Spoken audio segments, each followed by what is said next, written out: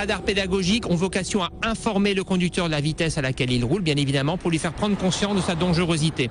C'est d'autant plus opportun que la part de la vitesse excessive dans les accidents mortels est très importante cette année, de l'ordre de 36% des accidents qu'on a recensés. En termes d'efficacité, je ferai le bilan en fin d'année, bien évidemment. On aura une occasion, une, attention particulière pour un suivi statistique des accidents sur les lieux concernés. Et j'espère évidemment, j'espère beaucoup que notre bilan 2012 sera encore meilleur que celui de 2011, que je le répète, derrière les chiffres, on a des vies brisées, euh, des familles terrassées par le chagrin, et ça, c'est inacceptable.